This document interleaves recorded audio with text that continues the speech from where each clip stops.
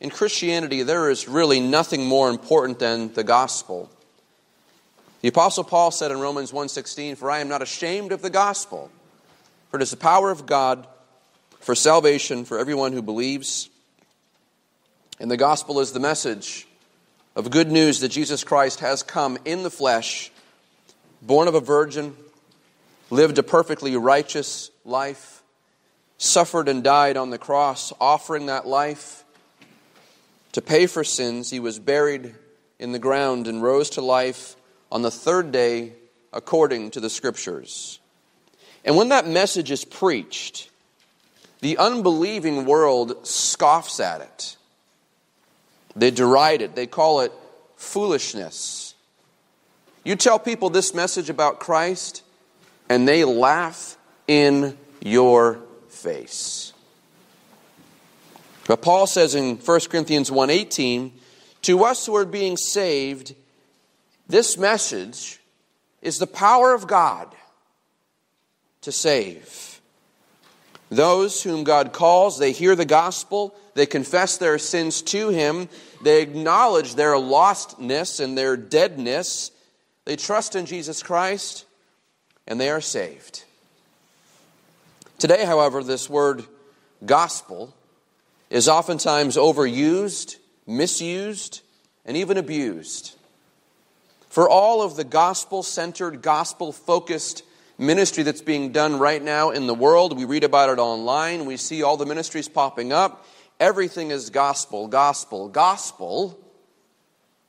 For all that's being done in the name of the gospel that is good, there is, it seems, an equal amount of damage being done as well to the gospel by those who intend to pervert and distort and destroy the gospel. Just because someone comes to you and says they're bringing gospel doesn't always necessarily mean that it is. There is a real and present danger at hand the problem of false gospels. And there are varying degrees of this. There is a very distinct anti Christian message, bold declarations that attack the person and work and message of Jesus Christ. Someone comes to you and they say, I've got the good news, I have something I want to tell you. And they very distinctly and explicitly tear down the person of Christ. And that's very obvious to your thinking. When someone comes to your door and they have tracts in literature and you ask them, well, What do you think about Jesus? and they tell you what they think, and it's this perverted, distorted, strange teaching about Christ that nothing in scriptures bear witness to, and you can identify that and say, Well, that's false. That's awful. That's very clearly an anti gospel message. But then there are the more nuanced variations of this that affirm a large amount of truth. And you hear the message and you're like, yeah, I, I believe that. And they'll tell you what they believe. You say, amen, that's right. But then some small element comes in. And that small little element then permeates and distorts the whole thing.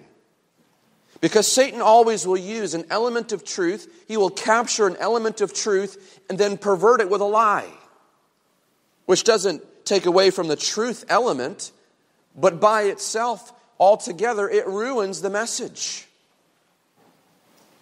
Whether it's overt or covert, both instances of gospel perversion are deadly. They are staunchly deadly. And while the church is usually very keen to oppose and reject the blatant false gospel, the covert nuanced false gospel can sneak into a church like a Trojan horse. You don't even see it coming. And sometimes it takes a while to manifest itself. But when it does, it's like a cancer. But we are called to contend earnestly for the faith.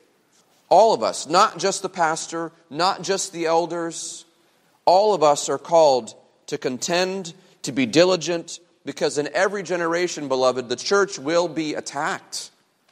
It always is, as Satan works very hard to deceive, if possible, even the elect. We must know what we believe. We must know what is true in order to oppose what is false. And that is why I believe Galatians will truly help us to this end. Not just today, but in the coming weeks and months as we work through this letter. It's going to help you, I pray, to become more robust in your understanding of what the gospel is, all the parts of the gospel, how it works, how you're saved, how you're justified, even how you're sanctified, and what that looks like as well. And so turn with me to Paul's letter to the Galatians, Galatians chapter 1. During Paul's first missionary journey, he traveled through the regions of Galatia, preaching the gospel, making disciples, planting churches, doing the work of ministry. He travels to cities like Pisidian Antioch and Iconium and Lystra and Derbe. These are all Gentile cities. They don't have a large contingency of Jews, even though there are some.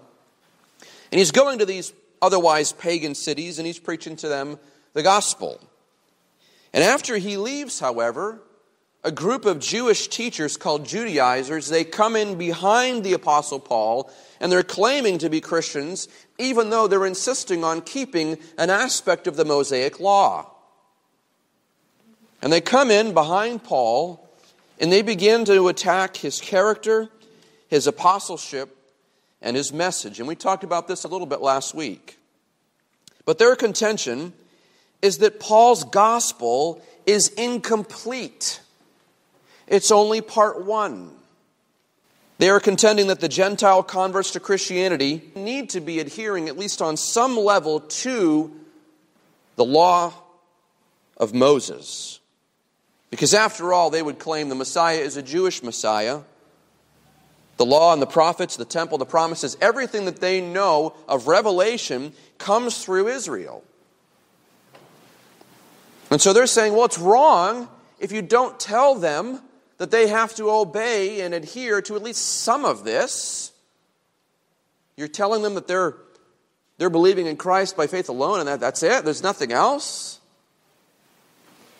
And they're warning that this is going to lead to antinomianism and this is going to lead to false converts. And, and they're going to contend that, well, at, le- at least teach them circumcision and, and Sabbath keeping. I mean, at least, at least keep the Sabbath holy, right?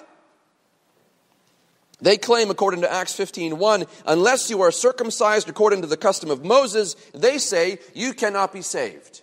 That's their contention. And I believe that along with that, there's a whole other thing. It's not just the one thing, it never is. False teachers will say, well, well just do this one thing. And the church in legalism says, well, okay, we'll, we'll, we'll go to that. We'll, we'll, at least we'll do that. And then as soon as that comes in the door, well, but if you're going to do that, then you got to do all these other things too. It's never just one error. There's always 50 errors on the back of the one. But it doesn't take Paul long before he hears about this that Judaizers are in Galatia and they're adding to his gospel. And so he writes the Galatian churches a letter. In the opening of the letter, Paul makes a brief statement about his apostleship. He's going to, he's going to spend the next two chapters defending that apostleship. But we note in verse 1, he says that he's not sent as an apostle from men, nor through the agency of man, but through Christ. See, the Judaizers believed that they could discredit Paul's apostleship, and if they could do that, they could undermine his message. So, so destroy the messenger, and the message goes with it. But even Paul's message didn't come from men. It came, according to verse 12, through a revelation of Jesus Christ. But they were attacking the message. But what is the message of the gospel according to Paul? What is this message? Well, we saw last week that he gives a very brief summary message in really verse 4. It kind of bleeds into 3 and a little bit into 5, but it's this. Here's his message Jesus Christ, who gave himself for our sins, so that he might rescue us from this present evil age, according to the will of our God and Father, to whom be the glory forevermore. Amen. And so that is the message he preached. That's the message that they had believed. That is the message that saves. And again, this is a, a smaller version. It's, it's a message of the gospel in seed form, like John 3.16 or verses like that. But something has happened He's delivered this message. They've received it. They've believed it. They've been planting churches around this truth. And something happens between verse 5 and verse 6. Look with me. Verse 6. Paul says, I am amazed that you are so quickly deserting him who called you by the grace of Christ for a different gospel, which is really not another, only that there are some who are disturbing you and want to distort the gospel of Christ. But even if we or an angel from heaven should preach to you a gospel contrary to what we have preached to you, he is to be accursed. As we have said before, so I say again now if any man is preaching to you a gospel contrary to what you received, he is to be accursed. For am I now seeking the favor of men or of God? For if I am striving to please men, if I was striving to please men, I would not be a bondservant of Christ. So I want to take these verses and I want to break them up into two main points here. But number one, we're going to look at the perversion of the true gospel. So, perversion of the true gospel. Normally, if you've read Paul's letters, you've seen this. Normally, after his introduction, he usually offers some kind of a of a, a word of thanksgiving. He's always thankful for the churches. Praise be to God. I'm thankful for you. I'm thankful for your love, for your faith. He did it to the Colossians. He, he went on for several verses about his thankfulness, about his prayer for them. Even to the Corinthian church, even the church that was just rife with problems, he was still thankful for that church. But here, he doesn't offer any kind of a word of thanksgiving. The only thing he offers here is bewilderment. He says, as if to sort of change his tune very quickly, I am amazed that you are so quickly deserting him who called you by the grace of Christ for a different gospel. The Greek word translated amazed can also be rendered perplexed, bewildered, stupefied. When Paul hears that the congregations are, are falling away from the truth, he, he can't believe it. He's just kind of in shock and in awe. I was, I was just with you. Like, what changed from here to there? He says almost the same thing, or he offers the same, the same sentiment in, uh, in chapter 3. We hear his tone You foolish Galatians, who has bewitched you? Before whose eyes was Jesus Christ publicly portrayed as crucified? Uh, who is, what happened? Who's done something? What's changed between there and here? I'm, I'm beside myself. I, don't understand. And he used this word here, deserting. You've deserted him who's called you. This word deserting can have a military usage to it. Uh, it means defecting or committing treason by going to the other side. And so the fact that this happened so quickly just boggles his mind. It's like they've turned on a dime. So you were running well over here. When I, when I left, things were going great. And now I hear that you've just like gone to the other side. All of you. And they're not just deserting the gospel itself, which he refers to here as the grace of Christ. He says, look at the text. They're deserting God who called them by such grace. And so, by abandoning the gospel, they're abandoning the God of the gospel. So you can't just throw away God's message without also throwing him away. Paul connects the two. You see that? And as we're going to see as we move through the letter, they're effectively rejecting the grace of God. It's like wholesale. They've, they've just run away from the whole thing. He says in chapter 5, verse 4, he says, You have been severed from Christ. You who are seeking to be justified by the law, you've fallen from grace, severed from Christ. He's seizing on this circumcision motif, if you will. He says, They're talking about you cutting off parts of the flesh. He says, Look, by doing this, you've cut yourself off from Jesus Christ. You've circumcised yourself completely.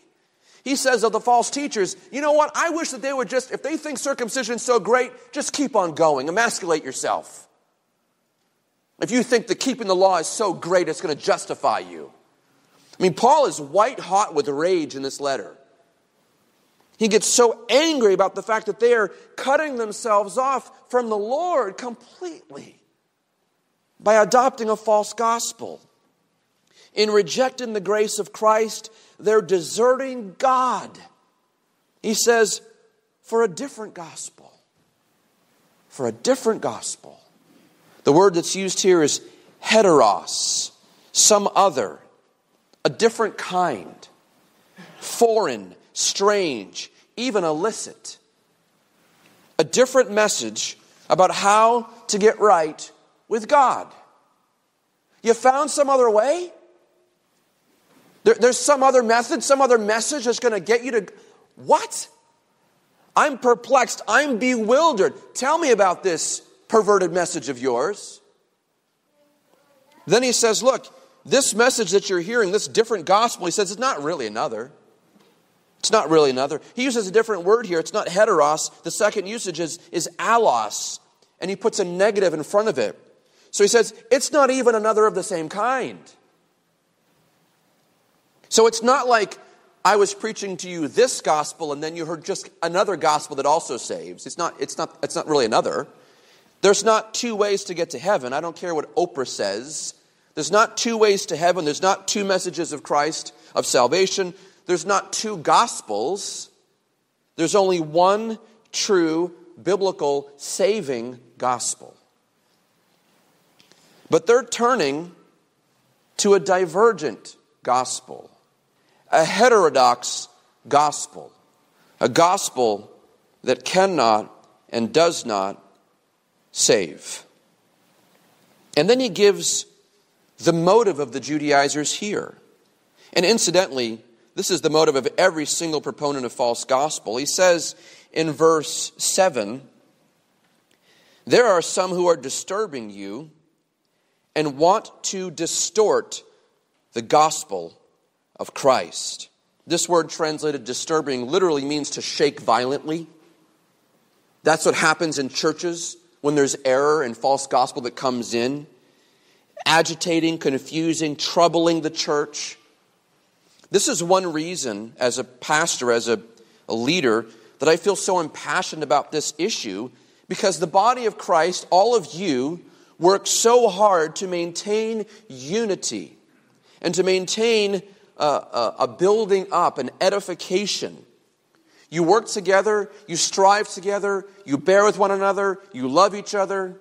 When you sin, you confess and you, re- and you repair the relationship. You all work so hard, and so did the leadership, all of us worked so hard to build something that's going to be strong, that's going to be great. We're built up in Jesus Christ. We try to obey Ephesians chapter 4 to the best of our ability. We have elders, we're appointing deacons, we're doing ministry, we love each other, we serve each other. This is so fragile.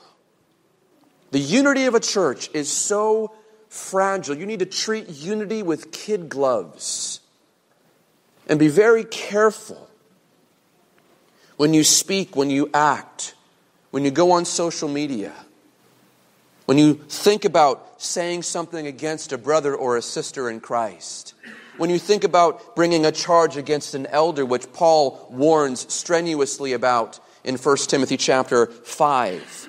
But all of us work so hard.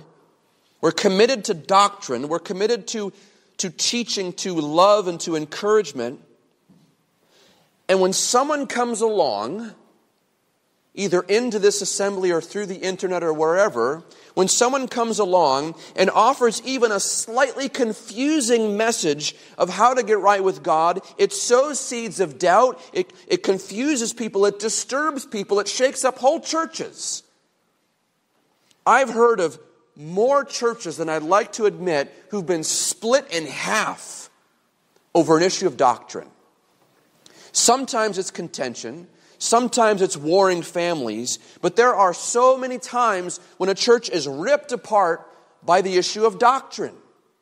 And sometimes it's small elements of doctrine, but sometimes, many times, it is gospel issues. and it comes in, the church hears about it, and it just shakes everything right to the core. It confuses people. It disturbs them. It shakes them violently, and it causes the assembly to question their own understanding of the gospel of Jesus Christ. The very foundation by which we're saved. Do you see the problem with that? It sneaks in so carefully.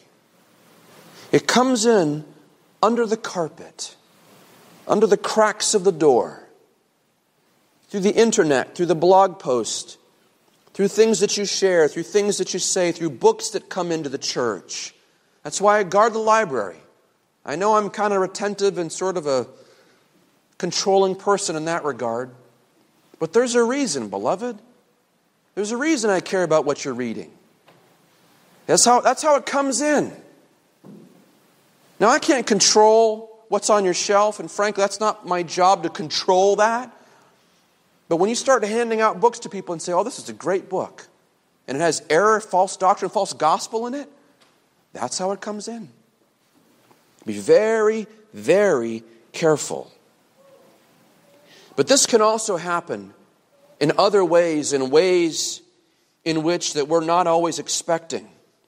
A prominent Christian leader, someone who's famous, they come along and they offer a correction or a variation to the gospel, and it sends people into chaos. This is happening right now. This happens in every age. This is happening, though, right now with what is being called social gospel, but it's also flying under the mask of social justice gospel. There's so many false gospels. We'll get to probably dozens of them, but this, is, this has been on my mind and on my heart presently. According to Darrell Harrison, go- this is the gospel of social liberation and empowerment, built on the premise that our purpose in life is to bring an end to all injustice and suffering. Now, this has been argued about in the political sphere for years. There's, it's always been talked about um, just over and over again. You've seen articles in the papers about it, and so on and so forth. But now this is finding its way into the church. And it's touching issues like personal identity, ethnicity, sexuality, marriage, family, even issues of authority. It's touching a lot of points that the Bible is very clear about. That somehow the gospel includes a mandate to empower those who've been oppressed, marginalized, or even who have suffered injustice. Now, that's a broad category. A lot of people have been hurt, a lot of people have been uh, suffered injustice, lots of people groups have been hurt. In fact, one Christian leader recently issued a statement, and I just want to read a couple of things, just a, a few lines of this. This is just one example of, that's indicative of kind of what's going on. He's a well known leader. If I said his name to you, you would recognize him. He writes this For all of my passion for the gospel of Jesus Christ, which has been accurate and faithful to the best of my ability, the gospel that I have held so dear has been, in reality, a truncated and incomplete gospel. He continues, I have invested my life in ministry in teaching, preaching, and writing about the gospel.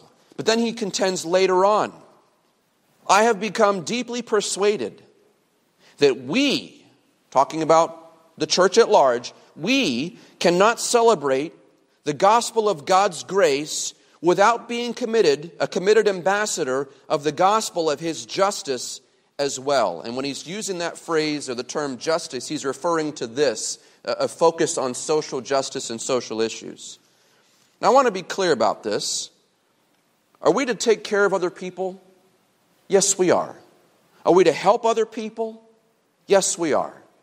We, we win people to the gospel of Christ by our deeds. There, there's a, there's a, a visible witness. Are we to weep with those who weep and bear with those who are hurting? Yes, we are.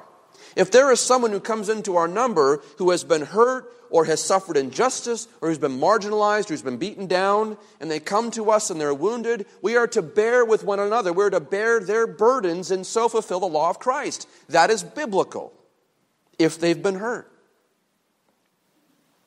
If we have committed sin personally, if we've committed a sin against another person and hurt them, we are to repent.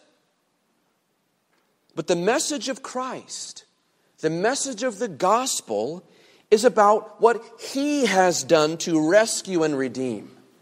The gospel is about Jesus and what he has done to bring us to God. The gospel has never been about social revolution. It's not. Once we're regenerated and reconciled to God, yes, we are also reconciled to other people. So we're reconciled to anyone else, anyone who has suffered injustice. And this is happening right now. And I, I hate to use the word because I think it's biblically wrong. The race issue, it's, it's really an ethnicity issue. There's one race, the human race. You read the Bible, it's very clear. There's not different races of human beings, there's one race. And we look different than each other. But we are reconciled to one another. When a person of a different ethnicity, when they come to faith in Jesus Christ, they are now my brother and sister. Because of our commonality, our common regeneration and faith in Jesus Christ. That's what reconciles. We are not to take our cues from culture, we're to take our cues from Christ. The gospel is not Jesus plus empowerment. It's not Jesus plus liberation or Jesus plus social action. Just likewise, here, it is not Jesus plus circumcision, or Jesus plus law keeping, or Jesus plus good deeds, or Jesus plus moralism, or experience, or prosperity, or whatever you want to tack onto the gospel. We are justified by faith in Christ apart from works of the law. Now, according to Galatians 5 and 6, once we are justified, once we are saved, then there is fruit that is born out of our lives the fruit of godliness, the fruit of sanctification, whereby we desire to love other people and contend for them. Yes. But to make this other element contingent on the gospel, or vice versa, I should say, make the gospel contingent of this. To say that you're not truly a Christian if you don't XYZ. That is another gospel. Anytime you add anything to the gospel of Jesus Christ, you are preaching a different gospel.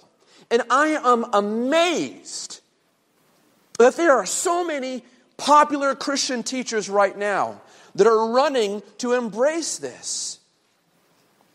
Pastors who have been faithful for decades are now suddenly turning on a dime and saying we have to go and do this and bring this into the gospel.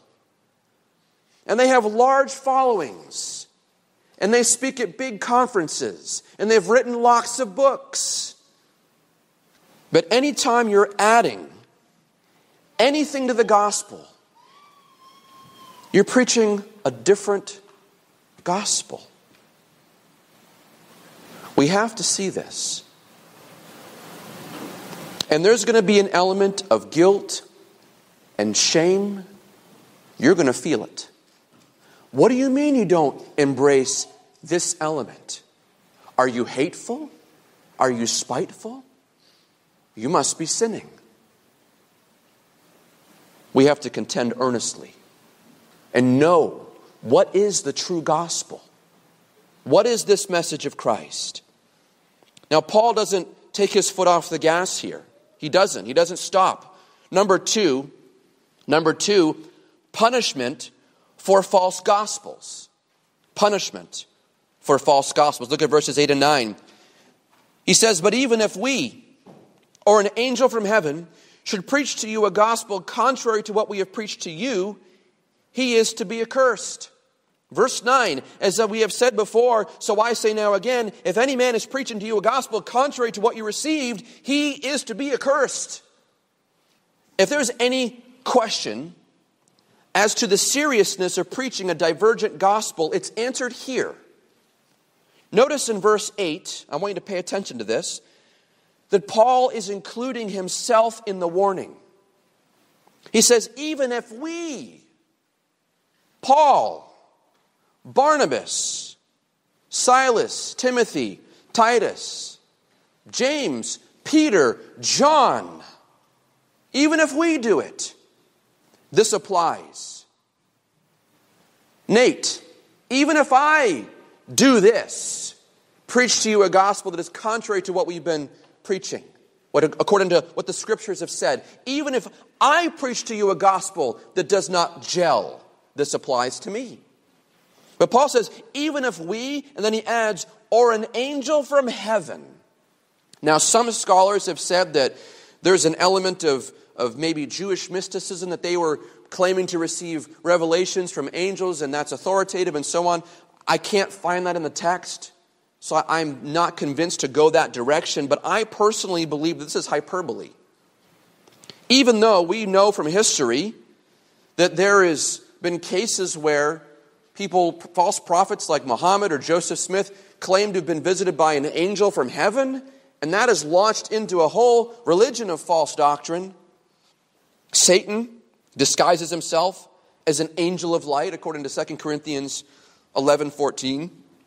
But I think Paul is going a little bit farther. I think he's doing something different. In the context here, he's dealing with men who reportedly came from Jerusalem and they're claiming to be sent by the apostle James. James, you know, the half brother of Jesus, he sent us to you. Chapter 2, verse 6, he claims that these men were of high reputation. They were prominent Jewish leaders. They had strong reputations, they had advanced theological degrees, they knew at least as far as we were concerned, the Old Testament, certainly the Torah, all these men had memorized the entire Jewish Bible, the Old Testament. They knew chapter and verse by heart, and if you were to pose them, they would quote you scripture all day long. They would argue exegetically. They had large followings. These men were prominent. But Paul says what they were makes no difference to me because God shows no partiality. I don't care who it is, he says. Apostles, prophets, even angels. Famous pastors, Christian leaders, large followings, it makes no difference. Nobody is authorized to preach a false gospel, a divergent gospel, a nuanced, truncated, something else gospel. After all, even when Peter became tempted to adhere to this gospel, the Bible says Paul opposed him to his face because he stood condemned. Paul saw this in Peter, his fellow apostle, and he went to them and he says, Brother, you're in sin, you're wrong.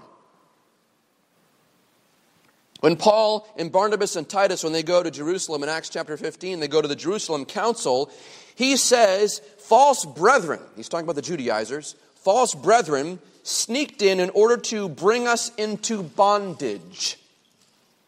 And that is always what false religion does. False gospel wants to grab you and bring you into bondage, into slavery. That's what a false message of Christ tries to do. But Paul countered and he declared this We did not yield in subjection for even an hour, so that the truth of the gospel would remain with you. He didn't care about their popularity or their prominence. God doesn't care about that. God doesn't care about how many followers you have, how many books you've written, how big you are, how big your platform is, your brand, whatever you are. He does not care about your status in this world if you are preaching against Him and causing His church to reject the gospel and the God of the gospel. Paul maintained if anyone should preach to you a gospel contrary to what we have preached to you, let him be accursed. And just in case anybody think he's misspeaking here, he repeats the sentiment in verse 9. Now, this word accursed is the word anathema. It means dedicated to destruction. So it's more than just a pronouncement, it involves suffering the wrath of God Puritan William Perkins has noted God has given to the church the power of binding, and it has four degrees admonition, suspension of the sacraments, excommunication, anathema. And he says, and the last is a censure or judgment of the church whereby it pronounces a man severed from Christ and sentenced to eternal perdition. So, anathema isn't just kicking somebody out of the church, it's a pronouncement that they are actually headed for God's judgment, that they are cut off from Christ. But there's always a temptation to alter the message to fit the audience. Always. If I think that you wanted to hear a different message, there's always a, a, little element in me that's fleshly that says, you know, just give the people what they want. They don't want to hear this. They don't want to, they don't want that. That's a, that's, that's a tough message to hear. That, that's divisive. That's too hard. You know what? I'm just going to I'm going to soften it. I'm just going to ignore certain elements of that. I'm going to downplay that. Paul warns Timothy in 2 Timothy chapter 4 that there are, there's a time coming when people will not endure sound doctrine and they won't endure the offense of the gospel.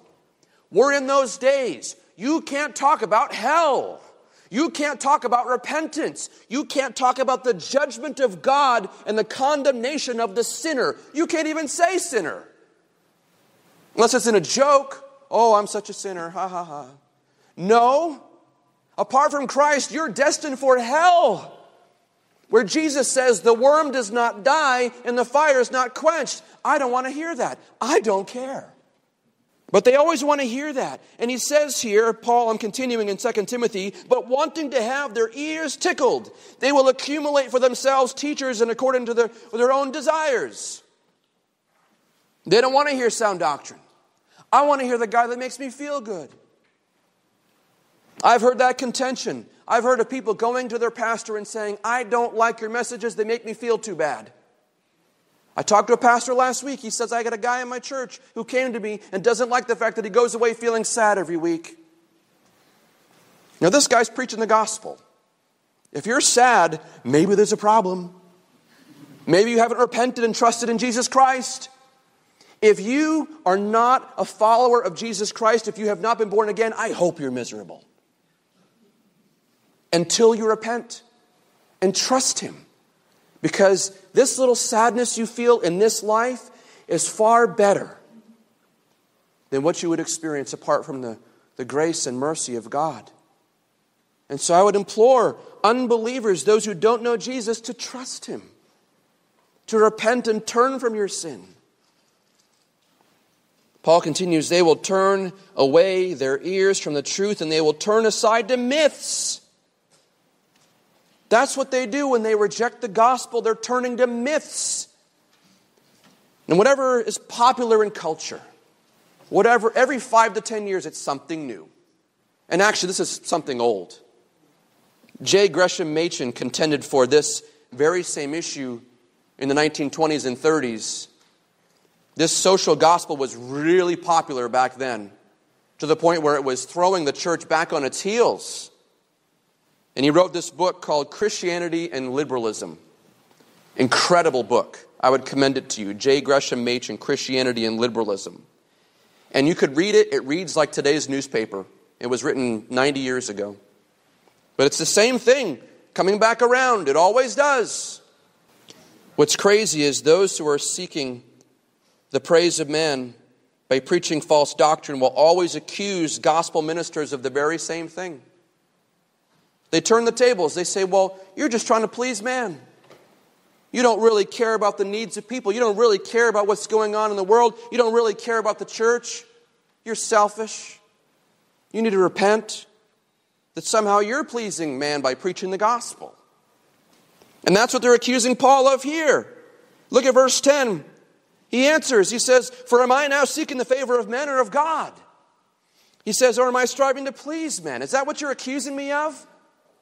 He says, If I were still trying to please men, I would not be a bondservant, a doulos, a slave of Jesus Christ. It's funny that they would accuse him of man pleasing when he's pronouncing anathemas on people. That somehow that pleases people? It's really a strange contention. But the mind of the false is perverted. Rather, Paul is rejecting the, pla- the praise of man. Rather, he's laboring for the approval of one. He wants to please the master. True ministers of the gospel don't care about what people say about them, they want to please the master. They must. There is a mandate, there is a charge, there is a stewardship attached to preaching and ministering the gospel. There is a charge attached to your ministry to preach the gospel. It doesn't matter what people think of you. By the way, they're going to hate you. Just accept that fact right now. But to those who are being saved, they will love you. They will love you. So and so preached the gospel to me, I will love them forever. He starts by defending his apostleship in verse 1, but by verse 10, he's proclaiming himself to be a slave. I'm a slave of Christ. He didn't preach the gospel because it made him popular. Actually, he admits in verse chapter 6 verse 17 he says, "Look, I'm bearing on my body the brand marks of Jesus." You think I'm in this for popularity? I was stoned and left for dead. You think I'm in this for money? You think I'm in this for prominence? He says, I'm elsewhere in Colossians, I'm filling up what is lacking in Christ's afflictions. They're trying to kill me because I'm being faithful to preach the gospel to you. I don't care about what other people say. I care about what God says. He himself was hated and persecuted. In fact, according to Acts chapter 14, verse 19, Paul is traveling in the Galatian city of Lystra, and that's where the Judaizers stoned him. So the very same people who are coming in behind him preaching a false gospel, those very people might have been the exact same people who tried to kill him. How does he get his revenge? Does he go after them? in the flesh and try to get his vindication? Nope. I'll be vindicated by the courts of heaven. You know what I'm going to do? I'm going to preach the gospel to the people of God. And by the way, because I know you're preaching a false gospel, you get nothing but anathema. You get nothing but curse. Not from me, from God.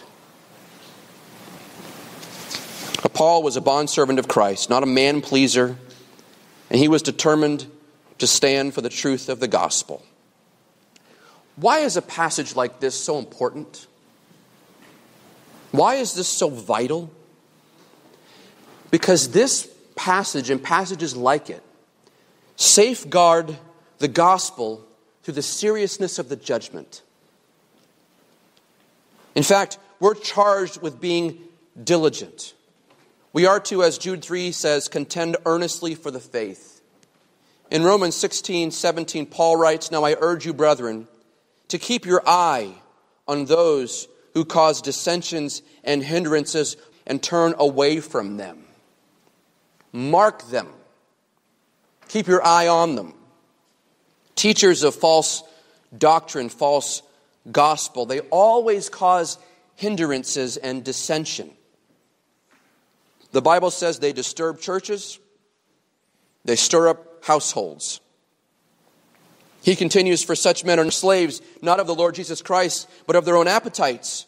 And by their smooth and flattering speech, they deceive the hearts of the unsuspecting. False teachers are not going to waltz into churches and bring a different. No one's going to walk in the door and say, Hey, I want to be accepted for membership. They're not going to come up front of you and say, Well, I just want you to know ahead of time uh, we believe a different gospel and I plan on bringing this into the church. They're not going to do that. It's not going to come that way. It's going to be more subversive. It's going to be more cunning. It's going to be the side door. It's going to be re understood, reimagined. Sometimes people preach false gospel in their ignorance. I think sometimes they're led astray and they just don't understand exactly what's happening. And frankly, the, what's going on in the, in the landscape right now I don't believe all the ministers who are doing this are doing this vindictively because they're severed from Christ. I think there is an, an element of, of dissuasion, of confusion. I think there is deception going on in the minds and hearts of certain people. But the effect is deadly. Wolves are always going to sneak in and try to spy out the liberty that we have in Christ to take us captive. They're going to bring a false gospel, a different gospel, a distorted gospel, a contrary gospel, a man pleasing gospel. But we are to stand firm knowing that a man is not justified by the works, he's going to be justified by his faith in Jesus Christ. Beloved, let me tell you, you don't have to feel pressure from the world or from anywhere else to jump on to whatever culture says about the gospel. They don't know Christ. When the world comes to you and says, You need to be a better Christian, you need to do this. After all, didn't Jesus say? They don't know him. They don't read the Bible. They scan it for their newspaper articles, but they don't know the Word. They don't have illumination. They don't have a regenerated heart. They don't know Him. You do. They don't understand or believe the gospel. You do. Who else is going to preach this gospel to the world? It's not going to be them, it's going to be you. And that gospel is the same gospel that saved you, it's the same gospel that is sustaining you. That Jesus Christ has given himself on the cross for you to pay for your sins, that he died, buried, was buried, and rose again to bring to you forgiveness, reconciliation, and life. He gives this to all who would repent and believe in him. Let's pray. Heavenly Father, uh, we, we come to you on our faces, humbled by the word. And Lord, I pray that even as we touch on these issues, even as we push back on culture, even as we push back on what's popular, I pray that you would help us not to become haughty and prideful and, and manifest a desire to war and to be contentious. I pray that you would save us from that, but rather that we would be godly and discerning and cautious and to evaluate and test everything against the Word of God. Not to fly off the handle and scream and shout, but rather to be very wise and to test and to examine. Lord, help us to contend earnestly, not emotionally, but with godliness, patience, sincerity, and holy boldness. Lord, I pray that we would be a people who would contend earnestly for the faith. We can only do this by your grace and mercy. You are our steadfast hope. You give wisdom and understanding. You are the one who enlightens the eyes and has given new blood to the body and new heart that gives life, Lord. You are the one, the author and perfecter of the faith. So we plead with you, God. We entreat you to help us to maintain our adherence to the biblical gospel. Have mercy and help us. In Jesus' name, amen.